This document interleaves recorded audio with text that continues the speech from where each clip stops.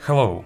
After releasing two pretty successful models of Android players, M6 and M6 Pro, of course, uh, many people were waiting for the Shanling's uh, release of a model in the more high-end segment and uh, they announced M8 with few interesting features and uh, finally it uh, made its way to me and today I will talk about this uh, definitely interesting player and uh, decided to select uh, well uh, recommended uh, AK4499 as digital to converter, two of them. They also used XMOS uh, for the USB interface, they used the Qualcomm CSR CSR 8675 uh, for the Bluetooth, so basically wireless connectivity and USB connectivity is good here. Player is based on the Snapdragon uh, 430 chipset uh, and it's limited to Android 7, but of course with uh, uh, Shanling's tweaks uh, it's uh, not really re recent, but it's the chipset that works pretty good in many modern DAPs. And uh, they added uh, 4 gigabytes of RAM, 64 gigabytes of flash memory on board, also, they've implemented uh, in-house uh, amplification schema that is capable of uh, delivering up to 840 milliwatts uh, for uh, 32 ohms load from the balanced output and they packed all that stuff in signature well-designed uh, shell. So Anyway, let's uh, probably have a closer look. Price is $1,660, at least currently in uh, many shops, so it's a recommended price. And now definitely let's have a closer look. So, I got it with, uh, uh with uh, stock leather case. Case is uh, pretty simple, but you know, it's, it's that type of case that everyone likes, it's just a safe design. Player itself came in nice uh, box, it's actually not uh, as big as it, it could be, so thanks to Shanling for making it a bit smaller. Uh, nice uh, signature uh, uh, foil with interesting stuff, information in different languages, but not much interesting details more interesting is here, so MQA, HWA, LDAC, Qualcomm, aptX, so basically all good modern codecs. As usual in the outer box you will get the inner one and you can see that this part flips to simplify the access to this internal wooden box. And it opens this way of course you will get some uh, papers, player itself, case with replaceable sockets and tools for sockets replacement, and underneath a bit of additional accessories. Basically USB-C cable and screen protector. Actually pretty nice protector screen, all that wipes, all that you need to apply this screen protector. As you can see, presentation is done on a really good level. In terms of design, Shanling uh, keep, keeps being uh, pretty consistent, using the same shapes with uh, rounded uh, sides, with uh, notches to uh, provide a better hold and grip with buttons on the one side and this rotating and clicking knob on the other side. Let me show the younger brother so you can see that uh, shape is pretty consistent with M6 Pro and M8 is just being bit thicker, bit wider and has bit higher. So few millimeters in all dimensions bigger and of course it's like 20 or 30 percent uh, heavier heavier because uh, it weighed uh, 340 grams. It, it holds a big 7000 milliamperes per hour battery inside and that battery gives it up to 9 hours from balanced out and up to 14 hours from single-ended uh, and basically yes in many cases uh, at least 8 hours from balanced out is reachable if you won't use uh, Wi-Fi and screen during that time too much. Basically comparing the sizes it's pretty close to M15 uh, about the same in terms of size. Looks like uh, Shanling decided to implement it in exactly the same size case with similar weight. And another competitor by Hiby R8, it's a bit bigger, bit thicker, so even big, bit bulkier this way. Anyway, it's uh, not really pocketable but still fit into my pockets uh, pretty nicely and it's basically the maximum size of player that I can uh, carry with me. So on this side there are three buttons, nice good clicks, well defined, of course uh, they are e really easy to find by fingers, not uh, looking. On the back side there is company logo and high-res logo types, I don't like them, but who cares about my preferences. Of course, these uh, films, I don't want to peel them, I don't probably will do it a bit later. And here is on off uh, button, it also uses to lock the screen and indica indicator LED. Also there is a knob to change the volume. It's not wiggling, so holding really well. Here used pretty good encoder, so in this aspect it's done nicely. On the bottom there is a USB-C connector, it can be used for charging, uh, you can use player as digital to analog converter, you can use it as digital transport, uh, you can uh, access the internal memory, so basically all that uh, modern features that USB-C uh, provides. And uh, micro SD card slot, it was a bit hard to figure out how to open it, luckily Shanling added sticker in the accessory set explaining that you need to push here. Then this end will rise you need to pull it and then twist. And in this way you will access the micro SD slot. Actually let's let's put it inside. I will need it a bit later. And then close this slot back I actually prefer tray-like designs a little bit more, but uh, I don't think that it's really matter in general. And on the top side there is their signature idea replaceable socket. So how does it works? If you want uh, not single-ended but balanced out or some other type of connector, you need to get this tool actually it's not the volume knob like it's done in FiiO for example. It's the socket replacing tool.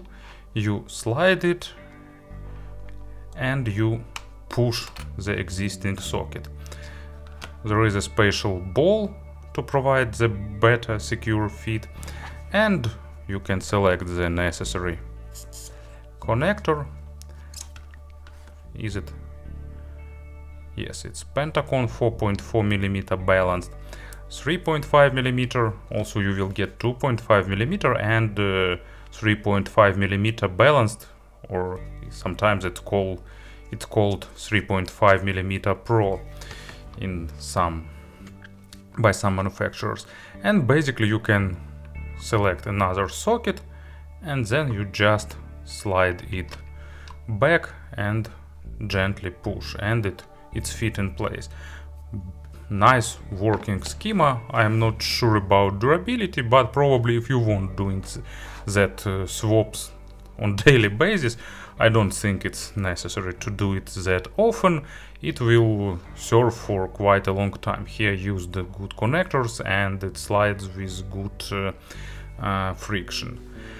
So to summarize this part, in terms of design, I really like this player. You know, Unfortunately, not everyone likes this uh, champagne gold or titanium color. I really like that color of M6 uh, Pro and I really like its feel and I like this uh, uh, back panel, it's really pleasant to touch, but of course it's better to use it in case anyway. And uh, on the front side uh, there is a nice 5 inch screen, so it's not the maximum brightness of course. Let me turn it to the highest brightness, it's uh, made by Sharp, nice resolution, viewing angles, uh, good response and so on. So basically nice screen, uh, staying visible even under the bright sun. So in terms of design, I'd like to see some more fancy color, but you know, in the player's world, uh, you can get any color what li you like as long as it's black. So let me show case to you, but basically it's just simple classical case with the classical design. Player slides in nicely and stays protected from any angle, so it's really good. So, I'd like to see more fancy color, but overall build quality is really really good and it's Shanling, nice ergonomics, nice design and all that related stuff. In terms of firmware, it's uh, stock Android with few additional modifications and Shanling's in-house implemented uh, player. There were no Play Store from the out of the box, but it can be easily installed from APK Pure. You just download it and then start it and it basically works. Uh, it's cached version, no Wi-Fi right now. In the settings uh, we can see that they've added Bluetooth amplification mode, so it's basically Bluetooth receiver. And here is exit. You uh, what is in the more? Yeah it's just VPN and network settings and additional settings in the audio. You can select uh, phones out or line out. You can select one of many low pass filters gain settings balanced boot volume maximum volume wireless playback quality you can activate airplay and vehicle mode here i don't know for few years for me it's kind of mystery why mm, uh, player software creators uh, put these options in really sophisticated different places. Just add icons to activate uh, Bluetooth receiver on the desktop, add separate icon for the USB digital to analog converter and it will be nice and just working. On the In the drop down you can see that uh, you can select USB mode, gain, phones out and line out, audio settings and you can also activate the uh, prime mode or basically it's just the mode when you'll get access only to the player itself without any additional stuff. Player is nice, it's uh, pretty ergonomic, uh, you can update media library, all songs by folders, by albums, by artists. Uh, there are two levels of grouping, you can see all songs by artist and album. It's actually nice touch, you can get both. Usually some people prefer one level of grouping, other two levels of grouping, Shanling does it both. Artist genre separate list for the high-res custom playlists, Wi-Fi transfer, access to the network attached storages, sync link its remote control option by Shanling, uh, thanks that they didn't call it Shanling link. And settings, language, follow system, sleep timer, resume playback, uh, automatic uh, playback transition, skip to next folder, pause when headphones disconnect, uh, equalizer, you can activate it here or turn off. So basically just classical graphics equalizer. USB playback mode, LDAC or HWA codec, it's also activated in the player software, uh, lock screen with the album art uh, and theme, black or white. Actually, both are pretty nice, but uh, I think that almost everyone will prefer black one. It, it's more hi-fi look. And just select some some track.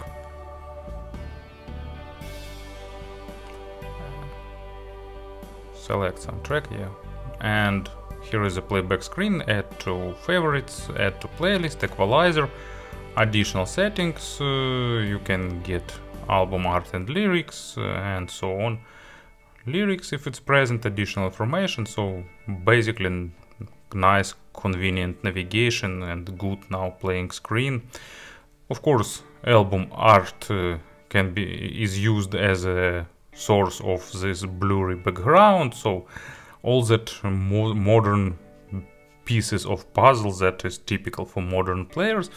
And also, as usual, there is a mass uh, management uh, capabilities, so you can select uh, many folders, you can add them to playlists, you can delete them and do all other activities. So basically it's good, nicely working Android firmware. Uh, there were a few small glitches and bugs, but Shanling actively working on them and squishing them.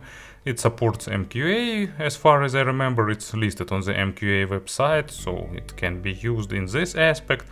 And as all modern features are present here, but of course if you'd like you can install some third-party player.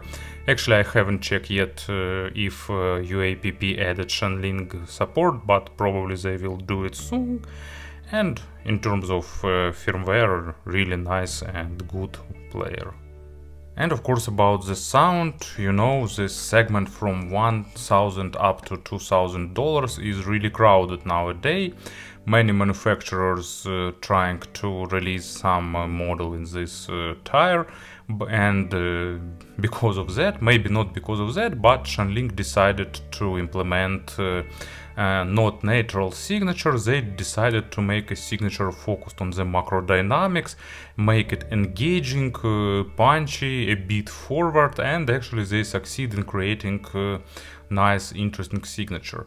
As uh, earphones, for example, I will use uh, Campfire Audio Audio Ara natural and monitoring model that shows all the uh, features of the sound of the source and it suits nicely to this signature uh, highlighting every single small aspect.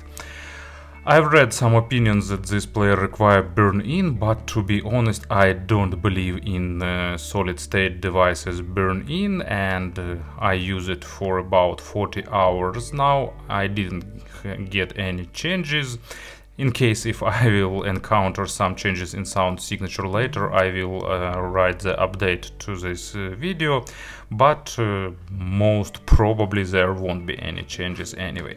So, in terms of sound signature, bass is a bit highlighted, a bit accented, but of course not in terms of frequency response. It's not adding uh, quantity of low frequencies, it's just adding a bit of tightness and a bit of energy, a bit of impact. So if you like uh, good low frequencies and if you like them accented uh, with additional punch and impact, this is definitely the player that will deliver it to you.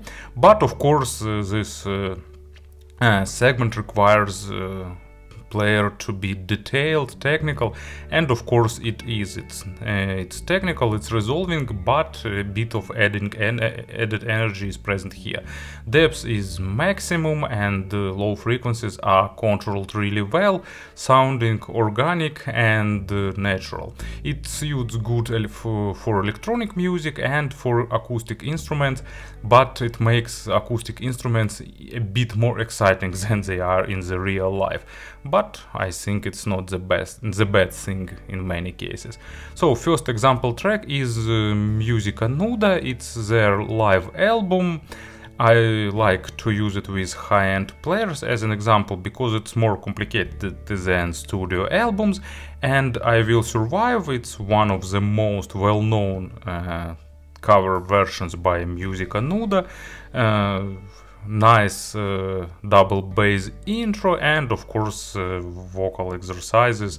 And this uh, player delivers it really nicely with thanks to the added macro dynamics thanks to the big dynamic range thanks to the great dynamism and black background. This track sounding really live-like with lot of emotions and energy.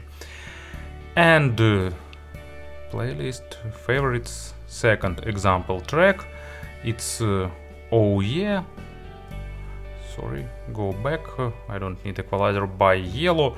Nice example of electronic music uh, tight impactful bass with necessary body but at the same time not exaggerated Mid frequencies are done in the same style. They are resolving, they have a bit of uh, focus on the macro dynamics, they not focused on the micro, uh, micro contrast. Uh, player not trying to nitpick and highlight the small smallest nuances, but at the same time all the tiny details are present and of course it uh, plays it uh, really well just not not highlighting them as much as other players do sometimes. So basically not focused on uh, micro focused on the macro and uh, that focus on macro brings additional energy, great uh, transitions, great uh, impacts, uh, great uh, body, great emotions, but at the same time, you know, it's not highlighting emotions much.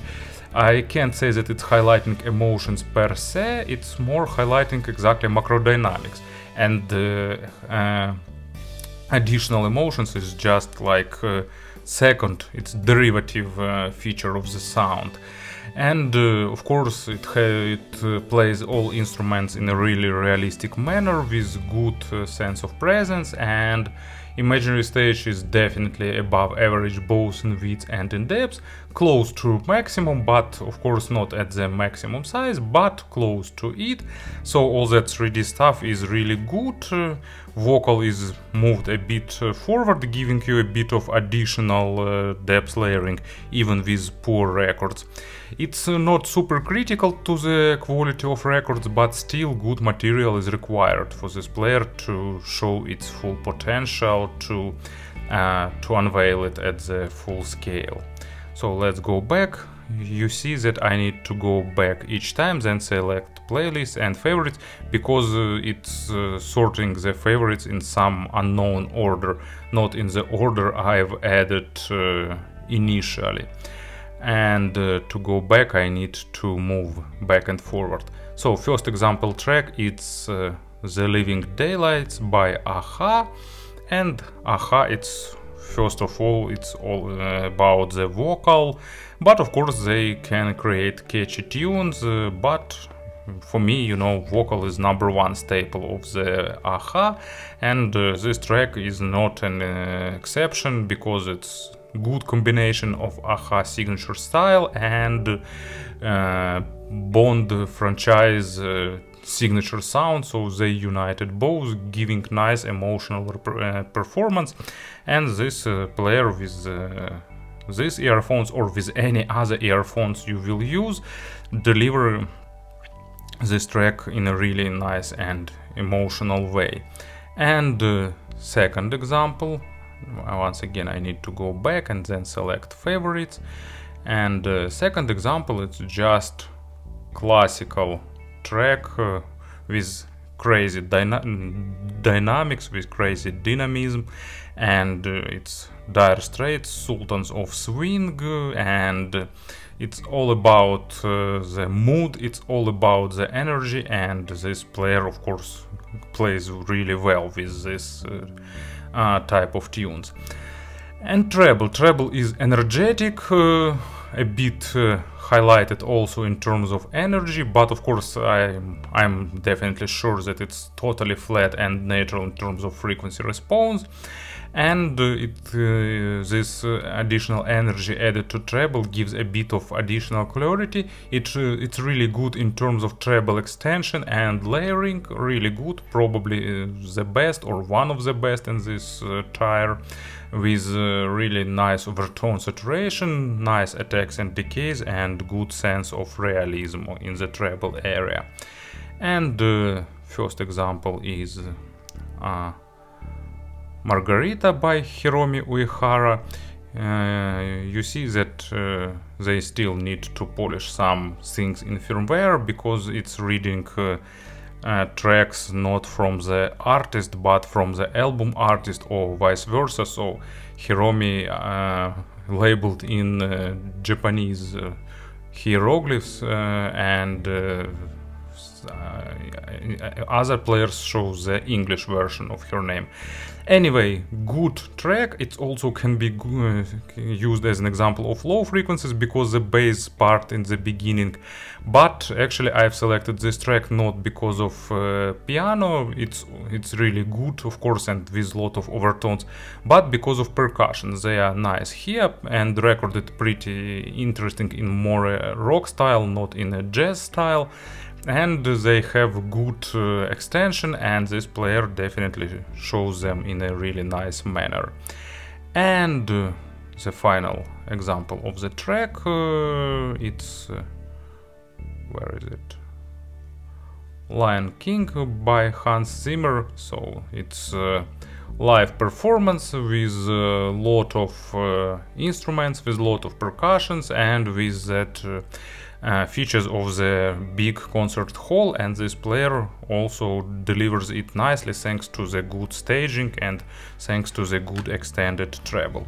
So to summarize the sonic part, it's a player for those who like uh, high-end signature with good resolution, with good uh, uh, control, but with a bit of additional energy, with a bit of uh, added uh, macro dynamics and dynamic range.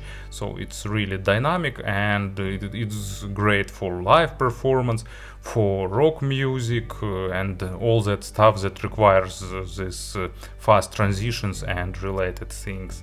And of course about the comparison, so it's a brief version, well, I will try to limit this part to only a few sentences for each player, because I'm waiting for the iBasso DX300 to arrive and to create the full video, it's not the old DAPs from this price tier I'll, I have, but anyway, let's uh, do it. In short, probably the closest rival, they even look uh, pretty close to each other in terms of size and other stuff. Uh, they are close in terms of features and all other things, but in terms of sound, they're not that close. FiiO is a bit more uh, leaning towards the neutrality. It's like natural with a bit of added weight, and the uh, softer trebles. This one is more energetic with more macro dynamics and with more energy, especially it's noticeable on the treble, so treble representation is the most different here, but uh, in general it's like more to, to leaning towards natural, this one is more fun and engaging. And uh, actually Shanling's own M6 Pro, you know, it's also more natural, kind of, you know, with M6 Pro, Shanling decided to go to towards the more natural path, because usually they uh, like uh, fun and engaging signature, but they've decided to shift towards neutrality, but for the M8 they step aside once again but it's this one is more natural more resolving with better treble extension with better control so definitely you know it's noticeable that this one is a more senior model. And uh, Cayin N N6 Mark II you can see it's more thick uh, but at the same time a bit smaller so another type of different approach to the sound I'm using it with T T01 amp. Unfortunately, I didn't test E amps, but anyway. This one is more emotional. It's more highlighting emotions and uh, you know, they both highlighting emotions, but it's not uh, tip, uh, same way of doing that because this one is highlighting pure emotions uh, and uh, trying to be more natural. This one is highlighting macro dynamics and adding additional energy and highlighted emotions here is just the derivative of the, this uh, highlighted macro dynamics. And uh, Another close rival in terms of price it's uh, Hiby R8 and Hiby is more natural, bit more focused on the micro details, bit uh, more focused on the highlighting these micro details and micro contrast. And uh, it's uh, also a bit of uh, shifted towards the weighty representation but it's uh, less colored than this player, but it's a matter of preferences. So if you like a bit more uh, audiophilic sound, it's uh, Hiby. This one is more for energy and for the emotions. Also, iBasso DX220 Max, you know, it's another player focused on the maximum uh, macro dynamics, but uh, iBasso does it even better, but of course it's uh, barely portable because of 700 grams of weight and actually being uh, bigger. Astell&Kern Alpha Cube that I like and that I've tested recently is also more natural but with a bit of uh, liquid mid signature uh, um, uh, that is typical for the Astell&Kern, so yet another type of representation. So, of course, that difference is not that big, you know, in the high-end segment all players are really good in terms of resolution, they be all of them building good stage, plus minus of course, uh, but they all are big, they all are resolving, they all are natural, and natural, but they have a bit of different coloration to suit different tastes. And uh, Shanling nailed the missing uh, type of signature and they deliver that and uh, they managed to do it nicely and also I like that idea of replaceable sockets, you know, this player looks more tidy and more clean than uh, outputs filled as other players. In terms of pairings, it's pretty universal, it has a good black background and at the same time it's uh, really good in delivering high power, so you can use it with virtually all possible outputs. Maybe they will create some additional types of sockets, who knows, like dual RCA or uh, I don't know XLR, but maybe not, it's just I'm kidding. But anyway, good black background with uh, almost zero noise with sensitive in-ear uh, monitors and a uh, lot of power from the balanced out. Balanced out is, I think it's more more preferable way of using this uh, player because it's even a bit more dynamic and a bit more highlighting the signature. So Shanling uh, managed to find the missing uh, type of signature and deliver that in stylish design with their uh, M8 player. Thank you for listening, thank you for your attention and have a nice day.